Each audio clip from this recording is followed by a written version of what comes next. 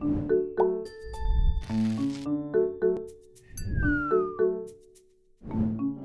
I'm Solène. And I'm Chris. Solène, I have a question for you.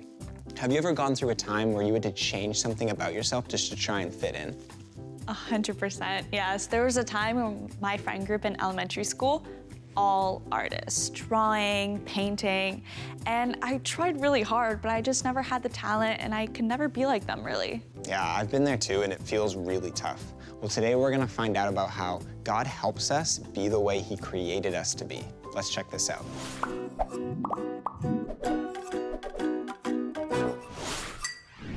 Why did the sponge go to church? Because it was holy.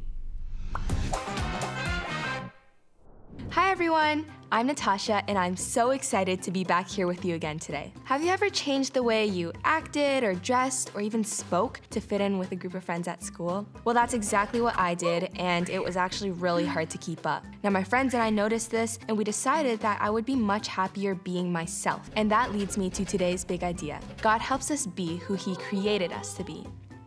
Now, last time, we heard the story of a young guy named David and how he was chosen by Samuel to be the next king of Israel. Even though David was the youngest of his brothers, God chose him to be the next king because God looks at what is in our hearts. Even though David was young, we can learn from him that we are never too young to serve God. Now remember, David wasn't the king yet. The king was a man named Saul. Saul had listened to God at first, but then he didn't. In fact, he disobeyed God. When he did, he started having a hard time. The Bible tells us that an evil spirit was bugging Saul. So Saul asked for a harp player to come make him feel better. The harp player that was sent to him was, wait for it, David.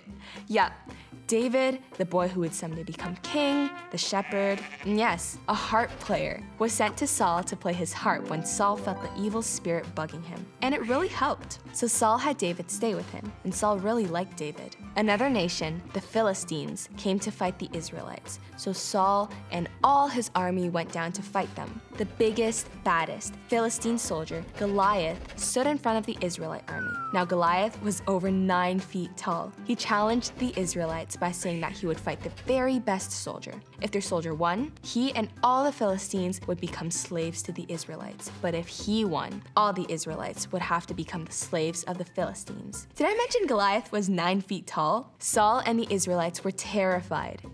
Now, David's three oldest brothers were part of Saul's army. They were there and they were very afraid too. Now, at that time, David's father, Jesse, had sent David with some food to where the armies were gathered. When David arrived, he went to see how his brothers were doing. Just then, Goliath came to shout out his challenge again. All of the Israelites were so afraid of him, but David wasn't. He asked, Who does this guy think he is? But David's oldest brother, Eliab, heard David and he said to him, Why are you even here? Who's taking care of dad's sheep? In other words, Eliab thought the only thing David was good for was being a shepherd. Eliab wanted to limit who David was, but David didn't listen to his brother. Again, he asked, Who does this guy think he is? Eventually, Saul heard what David was saying. He sent for Saul. David told Saul that he would fight Goliath, but Saul said, You're too young, you can't. David told Saul that he'd been taking care of his father's sheep for some time, and sometimes a lion or bear would come take a sheep, and David would go after the animal and fight it if needed. David believed God would keep him safe. Saul said to David,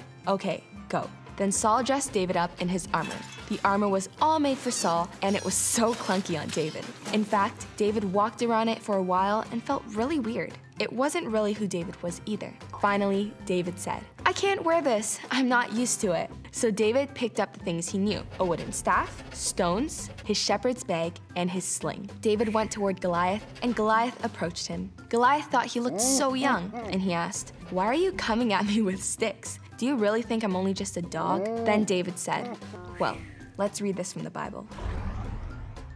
You are coming to fight against me with a sword, a spear, and a javelin. But I'm coming against you in the name of the Lord, who rules over all. He is the God of the armies of Israel. He's the one you have dared to fight against. This day, the Lord will give me the victory over you.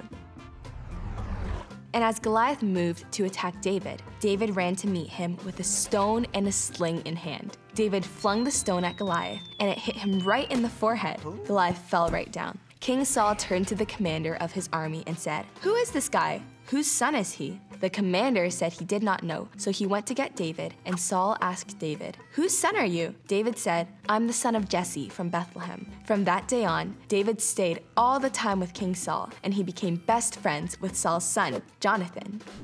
David could have continued to be a shepherd and harpist. No one saw him being the brave guy who would step up against a giant. Even though David had been anointed to be the next king, other than his family, people didn't really know this. No one thought that David was going to be anybody special. No one saw what God saw in him. But David relied on God, David trusted God, and David believed wholeheartedly that God was for him. And as a result, God helped David be who he created him to be. And that reminds us of our big idea today. God helps us be who he created us to be. And that may look a lot different from what we think. But when we get close to God and get to know his great big love for us, we learn who he created us to be. Well, I'm Natasha, and that's it for today. I'll see you next time.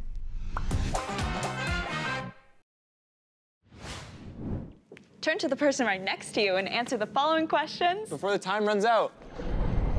Question time. God created David to be himself, not to be someone else. How did we see that in this story?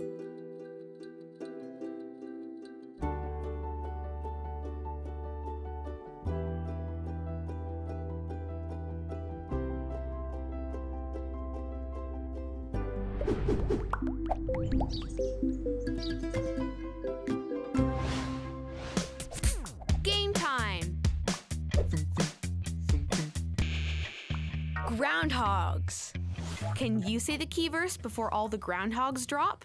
Get ready! Three, two, one, go!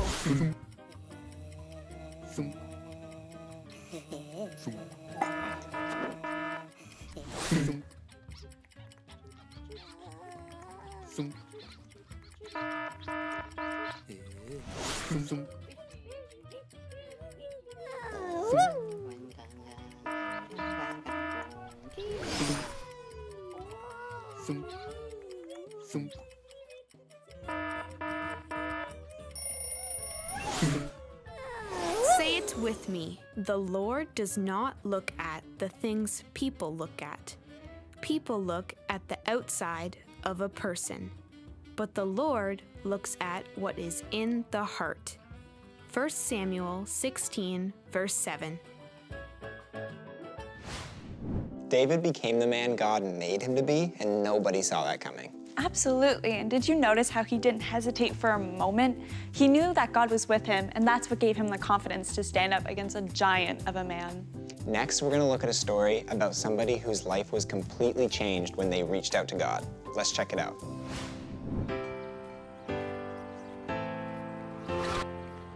One of my favorite places in the world is my cottage. We go up there all the time and we play a lot of sports like water skiing and tubing. When I was living in Luxembourg, everything was super close, so we got to do a lot of traveling. It was driving distance to France, Germany, Italy, and it was really fun.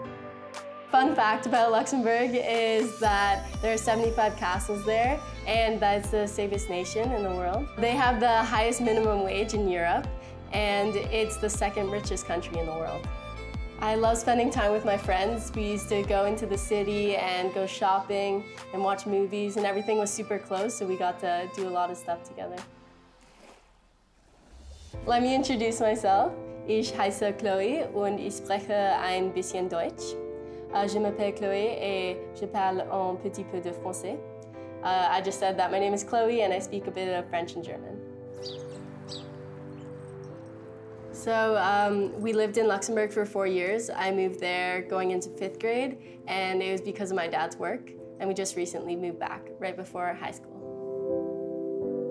When I moved back to Canada, it was a really hard transition. I had a lot more anxiety and I was really attached to my friends in Luxembourg, so it was really hard to be open to new friends here. I felt really lonely and I was really sad because I just wasn't having as much fun and I wasn't looking forward to anything. So I would spend most of my time in my room and just sleeping. One day I got into a fight with my dad and then everything came to the surface. So I told them that I had been feeling really depressed and that my anxiety has increased a lot and social situations were getting really hard. and then we decided to um, go get help. I started going to therapy, and at first I didn't really connect with my therapist, but we pushed through and tried to find more help through different people. I joined a lot of sports teams, uh, such as basketball and soccer, and that was really nice because I started having friendships with the people on the teams, and I also joined the Meeting House youth group, and they would just listen to me and always be by my side. When I first shared it with the group, it was really hard, um, but then I felt really relieved because they knew and they were able to understand me more, and we were able to build our friendships. So I would um, pray really long prayers and ask God for um, help to make me more calm and for more happiness.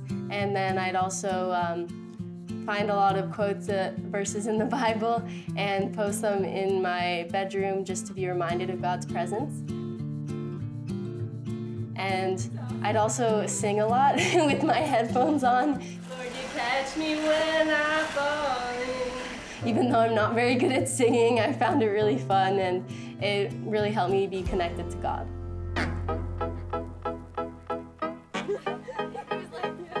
Through prayer, I realized that I had to be more open with people here and, and just make new friendships here. And then I started being more open to people. And then through time, I started making a lot of friends and I became a lot happier.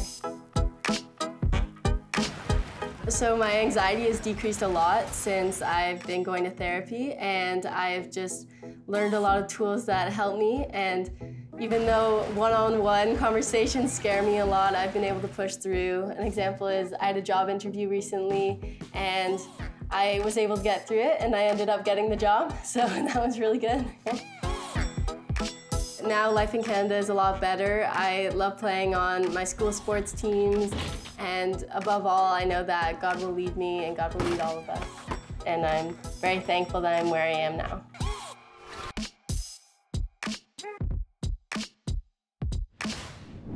Chloe went through a tough time, but she was able to speak up about what was going on to her family, and she got the help that she needed.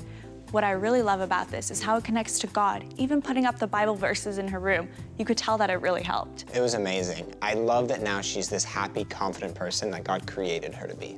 Totally. Let's break into our small groups and see what this looks like in our own lives.